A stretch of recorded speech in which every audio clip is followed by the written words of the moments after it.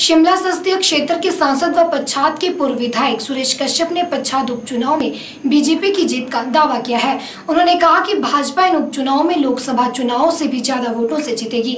उन्होंने कहा कि मौजूदा जयराम सरकार ने पच्छाद विधानसभा क्षेत्र में अनेकों विकासात्मक कार्य किए हैं, जिसका असर इन चुनावों में पार्टी को मिलने वाला है। उन्होंने बताया कि चुनाव प्रचार के दौरान जनता को केंद्र सरकार द्वारा चलाई जा रही विभिन्न योजनाओं के बारे में जानकारी दी जाएगी।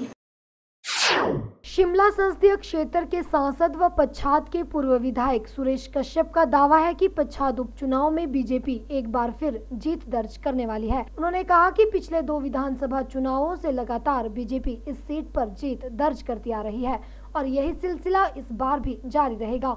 सुरेश कश्यप ने दावा किया है कि बीजेपी को लोकसभा चुनाव में इस क्षेत्र से करीब सोलह हज़ार मतों की बढ़त मिली थी, मगर इस बार जीत का आंकड़ा बीस हज़ार के पार रहने वाला है। उन्होंने कहा कि मौजूदा जयराम सरकार ने पच्छाद विधानसभा क्षेत्र में अनेकों विकासात्मक कार्य किए हैं, जिसका सीधा लाभ इन चुनावों में पार्टी को मिलने वाला है। सुरेश कश्यप ने यह भी कहा कि केंद्र सरकार द्वारा आयुष्मान भारत उज्ज्वला योजना व किसान सम्मान निधि जैसी कई योजनाएँ चलाई जा रही हैं, जिसका सीधा लाभ लोगों को मिल रहा है। उन्होंने कहा कि चुनाव प्रचार के मद्देनजर इन सभी योजनाओं के बारे में लोगों को बताया जाएगा। पछाद उपचुनाव को लेकर आचार संहिता लागू हो गई है।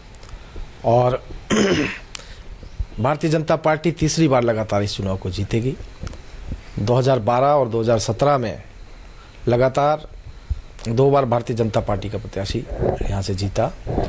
और इस बार लोकसभा चुनाव में भी एक अप्रत्याशित जीत भारतीय जनता पार्टी ने पछाद विधानसभा क्षेत्र से की है और हैट्रिक जीत का इस बार भारतीय जनता पार्टी यहाँ से मनाएगी। पाँच साल का केंद्र सरकार के जो कार्यकाल रहा, उसके बाद